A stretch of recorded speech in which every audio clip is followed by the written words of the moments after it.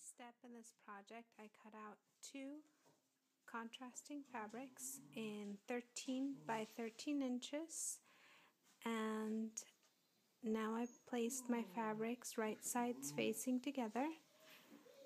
Then I cut a triangle off at the corner exactly 2 inches. So you can see this is 11. So I'm missing 2 inches this way and 2 inches this way. So my triangle was cut out.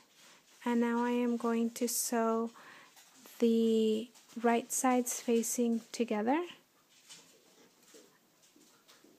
all around the perimeter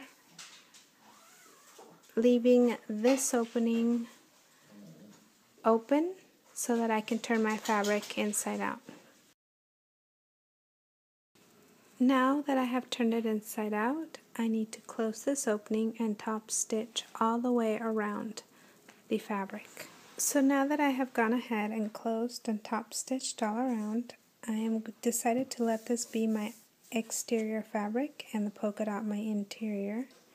So what I'm going to do is I'm just going to, since this will be my inside, I'm folding it like so and now I'm going to stitch this edge and this edge together. So this is what the inside looks like once I've stitched it. Now I just need to turn it inside out and add the velcro to this side and this side. So here it is, turned inside out. Now I just need to place, I'm debating whether a button or velcro.